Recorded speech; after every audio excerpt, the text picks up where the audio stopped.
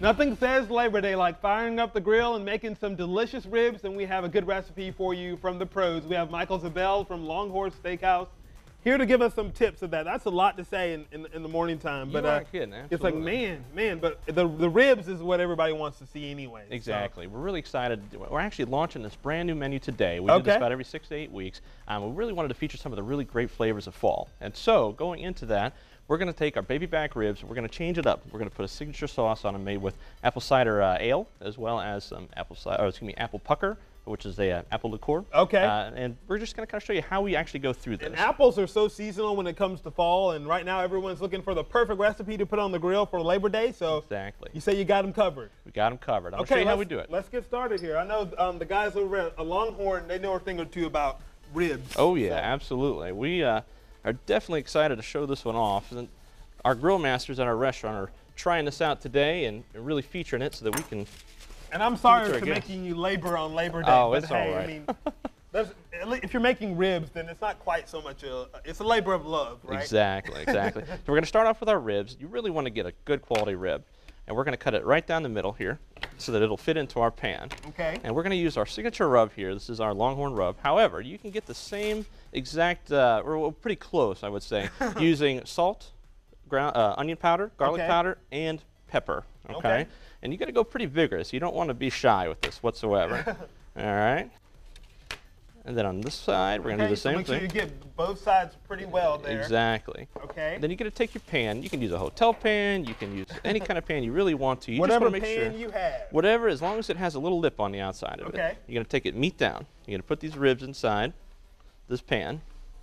And then you're going to take either, you can use water, but we're going to use a little something to kick it up. We're going to use our apple cider uh, apple ale, which is made by Angry Orchard. We're going to add that into there. Which is gonna, I'm sure, gonna give it a really, really great. Oh yeah, absolutely. and then you got to cover it with foil, and you really want to make sure that you don't just put it on top and leave it. You want to try and make this thing as airtight as possible. Okay. Keep Um, all that flavor in there. Don't it get Exactly. Well, what's going to happen is all that liquid is going to get hot and it's going to begin to steam and braise those ribs. And if you don't keep that liquid in there, that steam, it's just going to escape into the oven and you're going to have burnt, uh, really tough ribs instead of really great And ribs. nobody has time for that. You don't want to be that person that burns the ribs. I mean, you're never going to be. Uh, no one's ever going to come to your party ever again if that if that happens. Exactly. You're going to take and put it into a 325 degree oven. Okay. You're going to cook them for about two and a half to three hours until they at least fall off the bone tender. And the way to do that, take the bone, just kind of wiggle it a little bit. And if it will come out of those ribs, then it's good to go. If it's not, cover it back up, put it back in, and finish it off. that Okay. way. Okay. Okay. Now we have actually And now with television magic, Television watch magic. Is what, watch is what's going to happen right here. exactly. And voila, We have one that we'd already made. We'll take them over here. These ribs have already been cooked and they are fall off the bone tender. And you can kind of see that. I don't know if you can look and see how that meat is actually separating from those bones. Oh, yeah, you that is see it. Fall-off-the-bone wanna my, tender. my nasty hands Oh, on there, but absolutely. So, but we're going to go ahead and change our gloves because we don't want to serve food that's now not it's safe. all about the sauce. Exactly. All about that sauce. Well, we're going to bring it up. We actually cooled these off, and you can cook them in advance, and that way you're not having to rush through it. Or um, oftentimes when they are so fall off the bone, Mm-hmm. they will kind of crumble if you don't, you know, give them some time to rest. Let let let them rest a little bit. So we're going to take these ribs, and we're going to put them bone side down onto our hot griddle. Okay. Excuse me. We actually should make sure that we rub this down with some oil so that they don't stick. Very nice. All right. Bone side down. bone side down. You're going to cook them for about three minutes, okay? And while those are cooking, we're going to go ahead and make our signature sauce. Now, Okie dokie. you can take your, any kind of sauce you really want to. Uh, this is our Longhorn signature base sauce. We're going to put it into our mixing bowl here. Looks like a really simple recipe. Pretty simple, and you don't can use any Crazy. exactly. You can use any sauce that you want to. And now to kick it up, we're going to take our once again Angry uh, Angry Orchard Apple Ale. Which is really good, by the way. I have some. Oh, yeah, absolutely. At home right now. We're going to take our apple pucker. And I, never, I never heard of um, apple pucker before. It's it's just basically apple liqueur, so that's what they call it. But um, we're going to take a little bit of cinnamon. it put that in smells like fall in there. When, you, when you put them all in there, it smells like it. And we're going to take a little bit of garlic, a little bit of onion, and a little olive oil. We're going to mix that in there as well. Okay? You want to give that a good stir and make sure that you incorporate all that.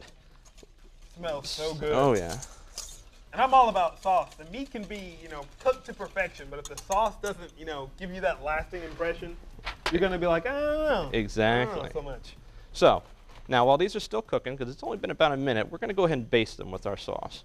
And so, Is there any sauce, uh, sauce applying technique that we should be aware?